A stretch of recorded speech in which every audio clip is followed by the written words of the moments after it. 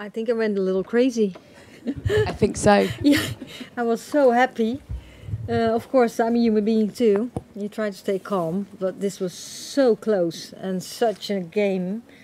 Uh, it could go all, all the way, uh, or both ways. Not all the way, both ways, all the time. So I was so happy that we won it. I think we showed resilience.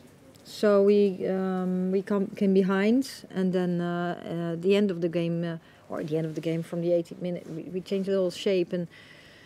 Um, uh, and, and we scored a goal real quickly. So then we could go back to the the, the, the shape.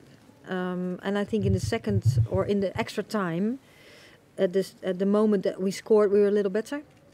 Just uh, I think we were, at that moment we were a little fresher, and then of course after that, then they had to come and score another goal. So then they were pushing again. I think for the for the fans in the stadium and people watching TV, I think it was an incredible game and also the fans uh, here in the stadium they were so behind us. It was just really incredible to experience. As a team we knew that we could come we could be in the situation where Spain score you know they're an unbelievable team. So again we prepared for every scenario in the game and for us it was about remaining calm composed and knowing that we just needed that one chance um, and that we'd get it. So yeah, we just have to to stay calm. We've got a lot of leaders in the team, kept the car, kept the team in a good place. Um, but yeah, it's it's everyone with that belief, and we had that before the game, throughout the game, um, and yeah, we were just happy to get it done.